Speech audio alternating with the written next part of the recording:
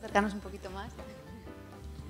Bueno, vamos a arrancar la, mesa redonda de esta mañana. Con ella ya concluimos las jornadas en lo que tiene que ver en, la sesión matutina. Por la tarde, en la vespertina, eh, continuaremos. Voy a pasar a presentaros a, los invitados que conforman esta mesa redonda. Por un lado está Sergio Sánchez, de Visiotech. Está ahí en el centro. Él es doctor en telecomunicaciones y director de operaciones y desarrollo en Visiotech, encargándose de todo lo relacionado con la tecnología.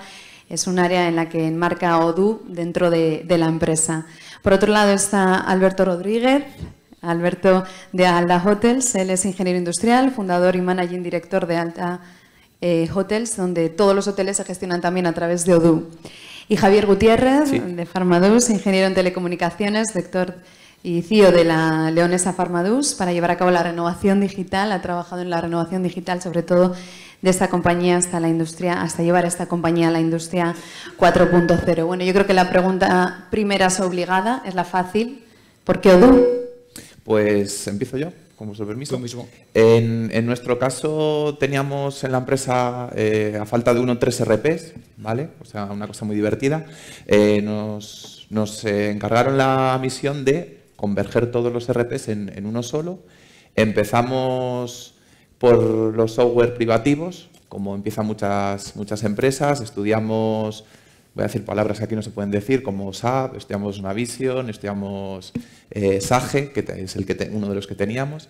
¿Y qué nos, nos, sucedía con estos RPs privativos? Pues nos sucedía que en el momento que el consultor que lo implantaba se iba por la puerta, eh, nuestro, nuestro RP ya estaba muerto. O sea, no evolucionaba, no, no podía eh, acompañar el RP a la, empresa. Entonces, investigamos un poco software libre, encontramos que, el, RP más potente en software libre es Odoo, en aquel momento OpenRP, y por eso nos, estamos hablando? nos decidimos. Estamos hablando en 2013, 2014, que fue cuando empezamos, y nos ha permitido este software que evoluciona constantemente, que, que no sea un freno para la compañía, que la compañía decide cómo quiere trabajar y el software le apoya, no, no lo contrario. Sergio, en vuestro caso, ¿cómo fue? Bueno, en nuestro caso fue bastante parecido. Nosotros eh, veníamos de un SAGE Eurowing, ¿vale? Eh, yo me incorporé a la empresa en 2013, eh, venía del entorno de I+.D., del entorno académico, entonces yo siempre apuesto mucho, o apostaba mucho por el tema del software libre. en la empresa ya estaba iniciado un proceso de migración, o parcialmente iniciado, hacia la siguiente solución de SAGE, que era Murano en ese caso, y yo paré el proceso y bueno, hicimos un estudio de, las posibilidades que teníamos en cuanto a software libre. Apareció la posibilidad de Odoo. Eh, vimos que nos daba toda la flexibilidad que necesitábamos y que, que nos permitía eh, pues un poco lo que le pasaba a él, ¿no? que, la empresa, que el RP se adaptase más a la empresa y no tanto la empresa al RP. Y entonces decidimos pues, implantar ahí eh, Odoo. En ese caso también era OpenRP, estamos hablando del año 2014 básicamente. En caso, Alberto, también fue algo parecido porque estáis en continuo crecimiento. Eh, no, bueno, la situación nuestra quizás sea un poco distinta. ¿no? Yo a título personal, eh, previo a fundar ALDA, pues eh, vengo del sector industrial, donde había pues, convivido con alguna de estas Navisions y, alguna, y algún otro RP que utilizábamos a nivel industrial y había convivido además, pues si no recuerdo mal, yo creo que en tres implantaciones de distintos RPs, con lo cual sabía de los problemas que yo conllevaba. ¿no? Lo duro y frustrante que, resulta en, el sector industrial cuando, cuando nos planteamos en, en ALDA eh, implantar un RP, pues el, motivo por el que escogimos eh, Odoo fue porque habíamos tenido una mala experiencia con Odoo. Vamos, previamente tuve una productora de televisión, hicimos también con, el mismo equipo de, implantadores un intento de Odoo, no, no, salió bien, pero vi el potencial que tenía. O sea, sí es cierto que eh, a otra gente ¿no? dentro del equipo le podía condicionar en pensar, bueno, pues si no funciona una productora de tele implantar Odoo, ¿por qué va a funcionar en, los hoteles? Bueno, pues porque había vivido previamente otros... otros el, problema no era Odoo, el problema es que implantar un RP en una empresa es, complejo, tienes que tener una vocación de, implantación muy grande y tienes que tener también un equipo preparado para ello. Eh, en ese caso, en ALDA, pues, pues eh, hicimos esa, apuesta. Eh, ya hace, ya hace años, estoy hablando del, empezamos en el, bueno, hace años, en el 2016 yo creo que, nos cambiamos a, a eh, la competencia en cuanto a sistemas de gestión eh, hotelera es muy grande, realmente hay un montón de sistemas especializados en hotelería, pero también es cierto que la hotelería es, una industria que que, está a la cola de la implantación tecnológica. ¿no? Entonces, eso hace que las soluciones que había estaban, están dimensionadas. Vamos, eh, las, soluciones que existen a día de hoy están dimensionadas, están preparadas para cadenas hoteleras con un perfil de establecimiento que dista mucho del, nuestro. ¿no? Están pensados más en hoteles eh, más grandes, más complejos. Pensar que Alda, a pesar de que tenga 32 hoteles, son, son hoteles muy pequeños, son hoteles de media 30 habitaciones y, no, las herramientas existentes no estaban adaptadas a eso. Y como conocíamos bien la necesidad y mi formación técnica también pues me, me, aporta un poquito más de capacidad crítica, pues como tenemos la valentía ¿no? de decir, bueno, pues vamos a ser capaces de hacer lo que nosotros creemos que es lo mejor para hoteles del perfil nuestro. ¿no? Y la realidad es que pues, no, sin esfuerzo y no sin trabajo, pero a día de hoy es, eh, son, soluciones que están siendo miradas por otras cadenas como nosotros y que, bueno, pues a día de hoy es, mucha la gente que está eh, pues prestando atención a cómo gestionamos nosotros porque han visto que efectivamente eh, de una manera mucho más económica y mucho más sencilla lo, conseguimos resultados que otros, pues vía SAP o, pues, el orden de magnitud económico pues es otro. Eh, por eso quería preguntaros a los tres un poco también. En la balanza, ¿cuánto pesó el hecho del código abierto, del open source? Para nosotros fue, fue, fundamental, por lo que comentaba antes. Eh, en el momento que teníamos software privativo, eh, cada, cada, nueva cosa que queríamos era muchísimo dinero, muchísimas horas de consultoría, mucha lentitud. había pequeñas cosas que queríamos adaptar y nosotros no, no podíamos. Entonces eh, no queríamos tener esa experiencia, queríamos tener la experiencia de que si hoy mi empresa cambia su forma de trabajar, porque está cambiando todos los días, es así la, realidad, que pudiésemos adaptar el, software rápidamente y que la solución estuviera al día siguiente, no tener que pasar por una consultoría y, todo el proceso tan, lento.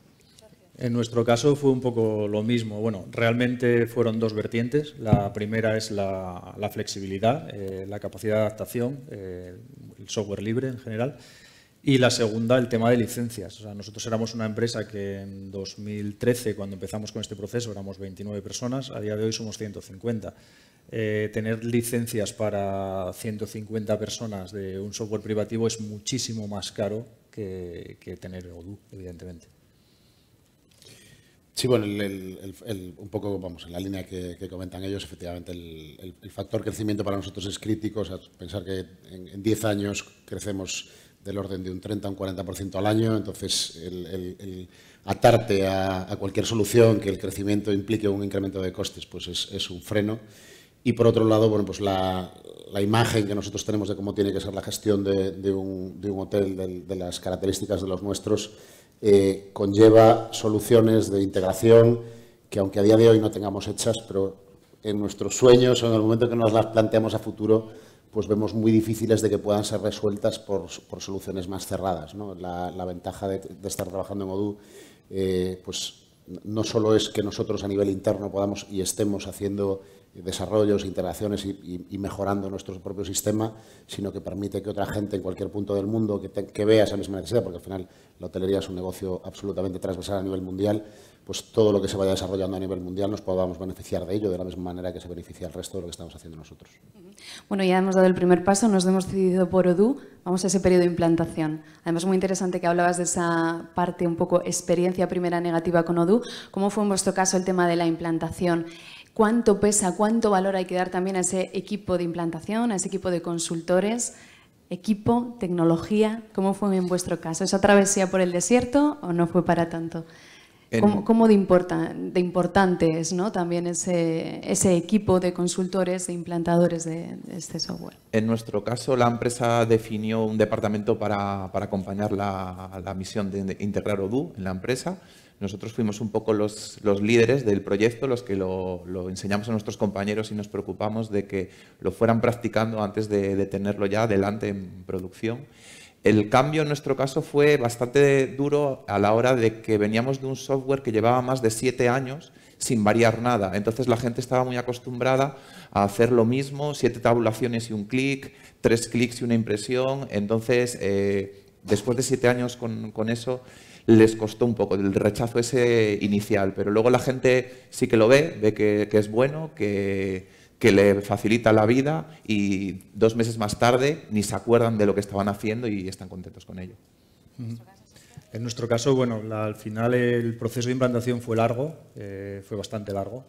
Eh, nosotros nos dedicamos fundamentalmente a la distribución, entonces tenemos una parte comercial muy potente eh, y tuvimos que hacer una implantación sin, sin parar el, trabajo del día a día. ¿no? Eh, hicimos una implantación, yo creo que bastante ordenada, la estructuramos en, fases muy claras, intentamos concienciar siempre a, los empleados, hicimos una gestión del cambio bastante fuerte entonces lo que hicimos fue una primera captura de requisitos muy potente con todos los, eh, con todos los empleados, prácticamente todos los empleados participaron en la captura de requisitos, eh, enfocada de dos, formas. Eh, primero capturaba los requisitos yo, que soy más técnico, de cara a funcionalidad, luego estaba la parte de comercial, había una persona un poco más de negocio, que hablaba más desde el punto de vista de negocio con, la gente. Eh, después de la captura de requisitos vimos qué necesidades teníamos cubiertas con el, con el OpenRP básico, con el Odoo básico, eh, vimos la, diferencia que había, detectamos que teníamos que cubrir, hicimos el, desarrollo y a partir de ahí empezó un periodo largo de, pruebas, un periodo bastante largo de pruebas. Eh, bueno, la empresa somos bastante frikis, por decirlo de alguna manera,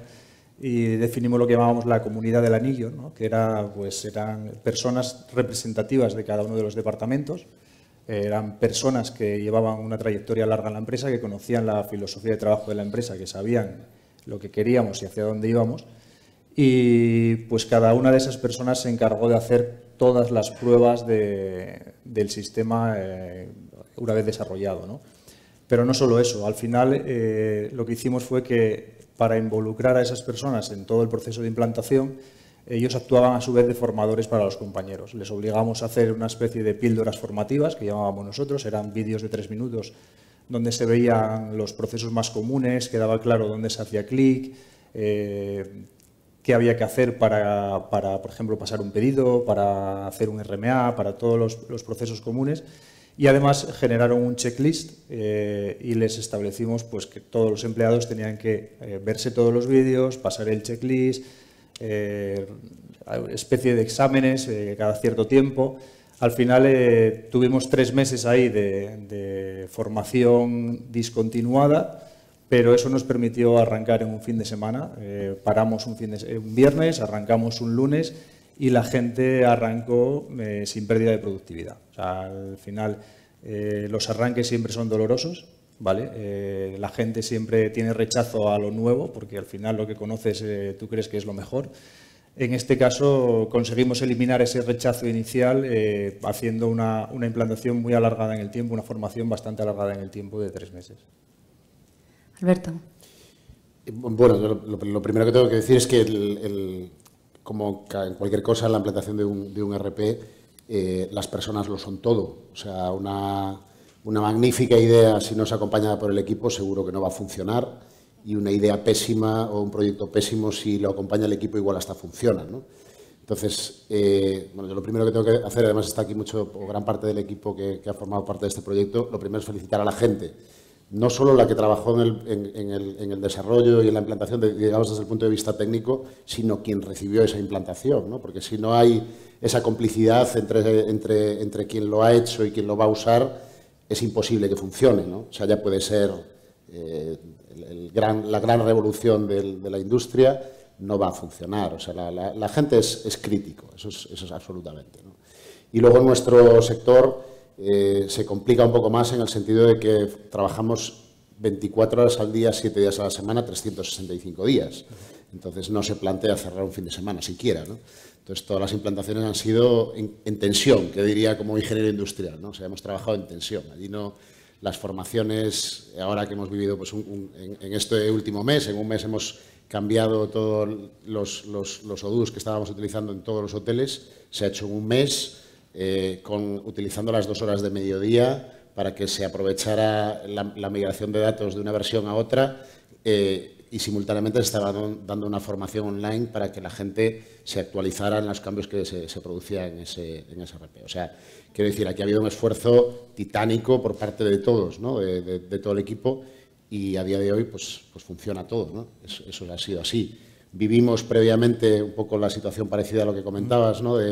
De durante, yo creo que casi un año tuvimos un hotel piloto, ya estoy hablando de los inicios de Odoo dentro de Alda, en el que se fueron pues, viendo los problemas que surgían, conociendo bien los flujos y demás.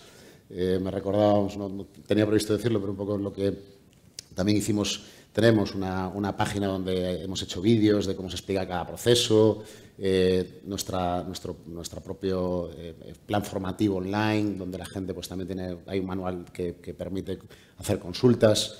Todo eso es importante, porque al final una de las...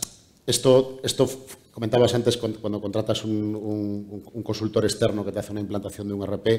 Eh, bueno, el, problema es el modelo de, la implantación. Quizás no tanto el tipo de RP que estás implantando, ¿no? pero cuando tú no tienes un equipo dentro que pueda resolver los problemas de continuo, eh, normalmente el primer día no surgen todas las dudas.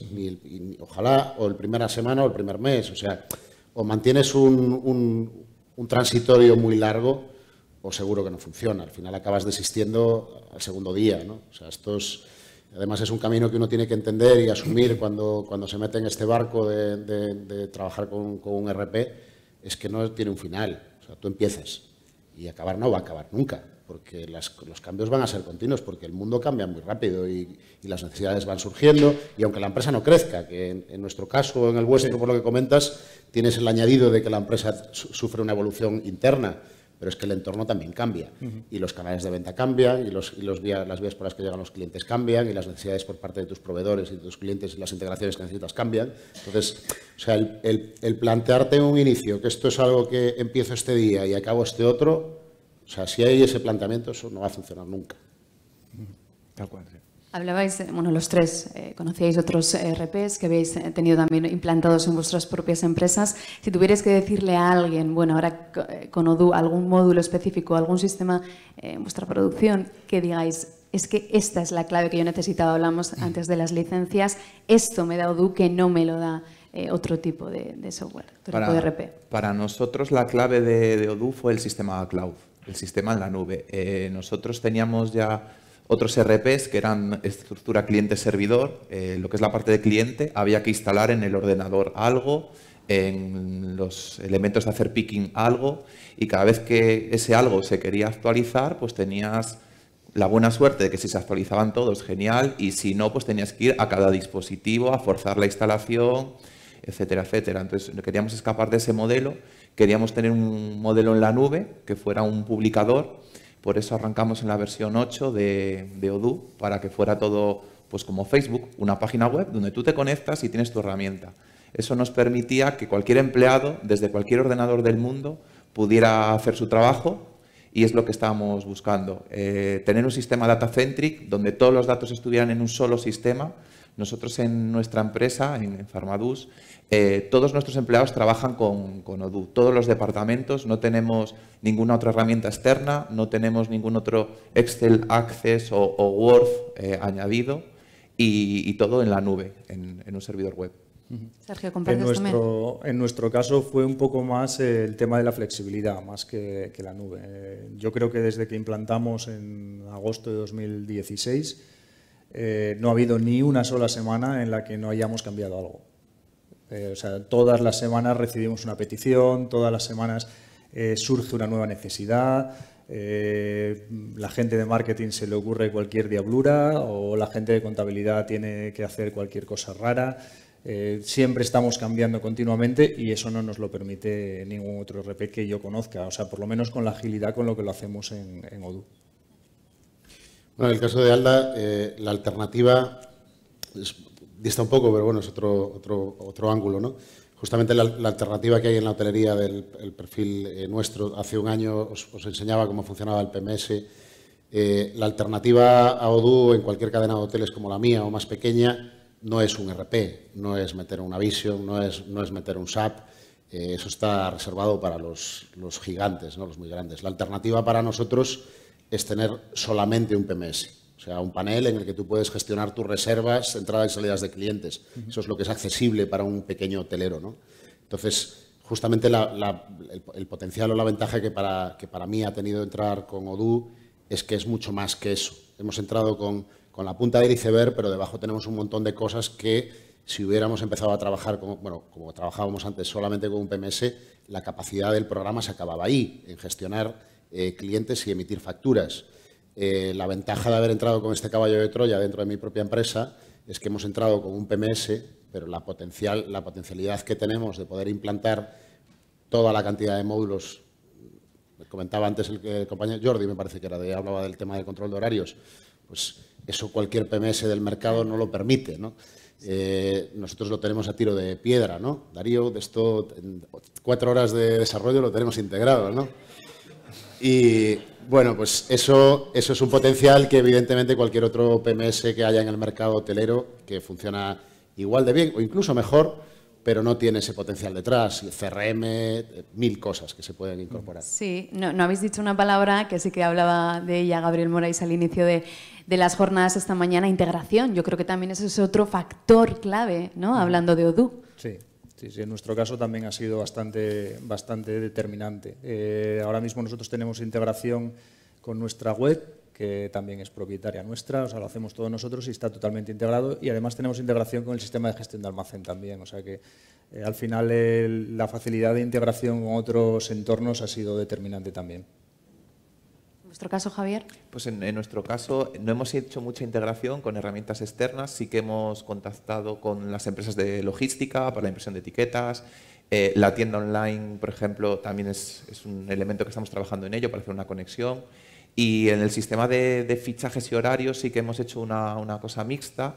Hemos hecho algo muy parecido a lo que estaban presentando externamente como página web que se conecta con Odoo para, hacer un macheado de horarios. Tú defines los horarios en la parte de, de Odoo y la parte externa lo que hace es el, fichaje, geolocaliza, por ejemplo yo ahora mismo estaba fichando aquí a primera hora de la mañana, te geolocaliza la posición, te la guarda, eh, se la envía a Odoo y en Odoo es donde se compara realmente si estoy cumpliendo mi horario o, haciendo algo, algo similar a mi horario. Bueno, ya para ir concluyendo, me gustaría un poco hablar del futuro, de, retos, pensar si esta integración, esta implementación de Odoo en vuestras empresas ha apoyado, ha ayudado ese factor hacia la industria 4.0 a seguir trabajando en ese camino de transformación digital en vuestras, en vuestras empresas.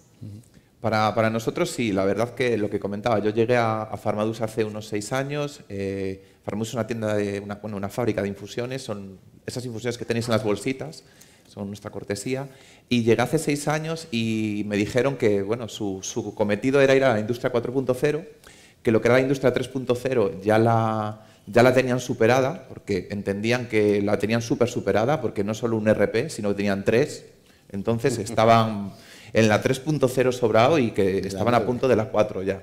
Entonces, eh, ahí tuvimos que hacer un ejercicio de vamos a bajar a 2.0, vamos a subir a 3.0 con un solo RP y ahora sí que estamos en, la 4.0. Para mí, el, sistema, lo que he dicho antes, cloud y data centric, o sea, en la nube y centralizado el dato, es eh, industria 4.0.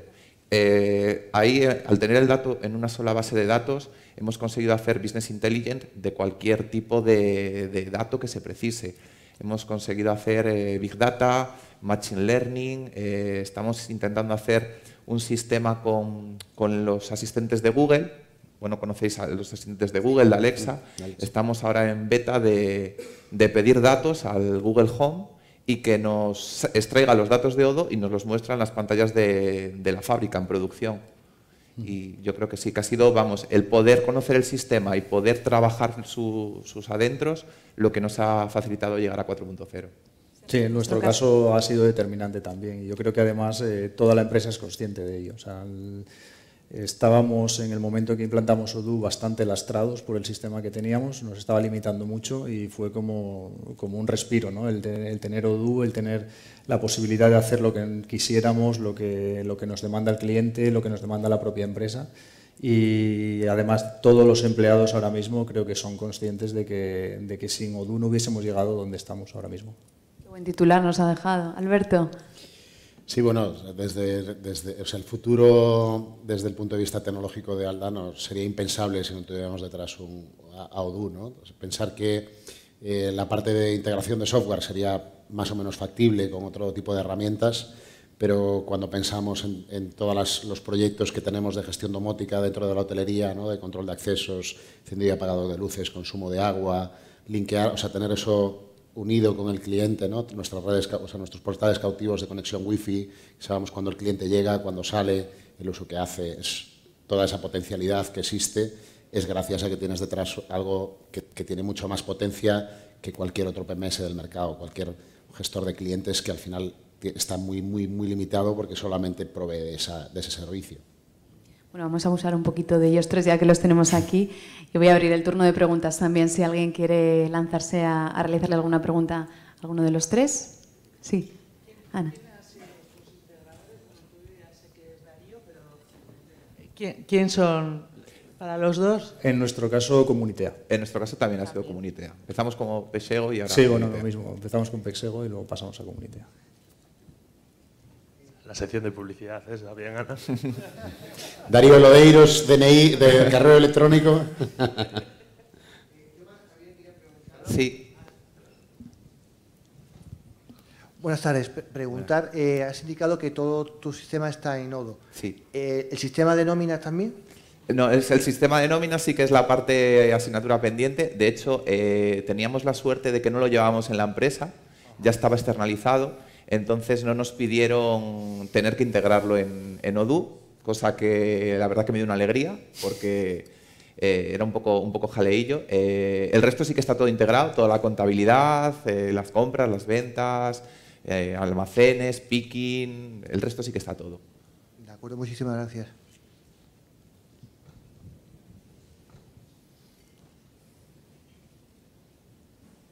¿Hay más? ¿Alguna más? ¿Alguien se anima a preguntar? No hemos sido muy interesante.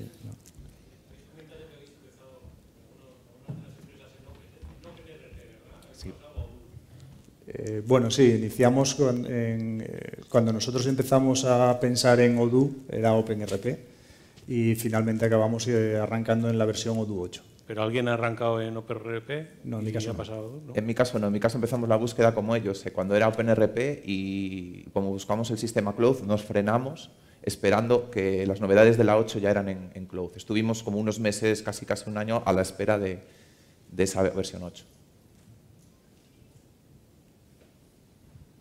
Yo quería preguntaros a ver si tuvisteis problemas a nivel de gerencia de convencerles de usar eh, open source en vez de productos que tiene todo el mundo, que los conoce y su nombre y ya dan garantías, entre comillas, para la gente que los conozca. Y la gente de gerencia suele ser muy reacia y dice, tengo el dinero, pues voy a poner SAP, que va bien o lo que sea. Y si tuvisteis problemas a nivel de gerencia para convencerles de que apostaran por el open source. Cualquiera de los tres, porque supongo que los tres habréis tenido jardín. Bueno, en mi caso, como os he dicho, estaba prácticamente lanzado un proyecto de, paso de Sage Eurowing a, Murano y tuve la suerte de poder pararlo, entre comillas. Eh, y bueno, sí que me costó alguna, alguna charla, ¿vale? Pero no fue, en mi caso no fue nada grave porque digamos que toda la parte de gerencia somos técnicos, somos todos ingenieros, eh, de hecho compañeros de, carrera. Entonces eh, fue bastante sencillo llegar a un acuerdo en ese sentido. En, mi caso empezamos de hecho buscando software privativo, lo que he comentado antes, las marcas que todos conocemos. Eh, a nosotros técnicamente no nos convencía, nuestra, nuestra gerencia sí, porque es lo que conoce, y tuvimos ahí sí, sí, una pequeña lucha para, para convencer de que era mejor y, y demás. Eh, empezamos también por el tema económico, porque la verdad que inicialmente eh, es una baza, que no, parece tan caro eh, inicialmente Odoo frente al resto, pero sí que fue un poco de freno el que la cosa no, se conociese, el software y, demás. La, la, gerencia no era una gerencia técnica, por así decirlo, en este caso, entonces sí que nos tocó explicar ventajas de tener eh, un software a medida, por así decirlo, o poder hacerlo más a medida que, el resto y poder hacerlo con la agilidad de hacerlo en casa. Yo nos lanzamos a ello bajo casi, casi mi responsabilidad. Si la hubiese cagado no estaría hoy aquí. Eh, al final ha ido bien, estamos contentos y yo creo que lo que nos planteamos es eh, migrar a una versión nueva de Odoo en el futuro y no, pasarnos a otro. Bueno, en mi caso el, gerente, el gerente propietario soy yo y el que hizo la defensa de Odoo pues fue José Luis Algara, que es el CTO de Alda. Y digamos que, bueno, cuento la, versión del otro lado. ¿no? Eh, pues el, argumento que, sin duda pesó mucho a la hora de que viera viable la propuesta que me hacía de trabajar con Odoo era, era, era, desde el punto de vista financiero, la inversión inicial era baja. ¿no? Y, y, con ese, bueno, pues ese punto friki ¿no? de pensar en un futuro ideal en el que pudiéramos hacer muchas más cosas, pues lo veía más, más escalable que cualquier otra solución sin irnos a poner muchos ceros en la cuenta. ¿no? Entonces, pues bueno, entre la escalabilidad y, y el precio me, me convencieron. En vuestro caso, Sergio, el punch definitivo para convencer a gerencia fue el cuestión económica también. No, fue más, bueno, cuestión económica evidentemente es muy importante. Eh, estamos hablando de mucha diferencia, mucho diferencial de precios, sobre todo ya cuando te vas a muchos usuarios pero fue más la, la, flexibilidad, insisto. En nuestro caso la flexibilidad lo, lo, es todo porque, como digo, estamos continuamente cambiando, continuamente. ¿Alguna más? Bueno, yo por, lo, por nuestra parte agradeceroslo a los tres. Me parece que es súper interesante una charla de este tipo porque hay gente que lleva dos, tres, cuatro años en, en Odoo como clientes, luego nos, nos cuenta un poco su, su experiencia. Supongo que todas las empresas tendréis clientes así, así que yo al menos agradeceros a los tres y, y genial. Gracias.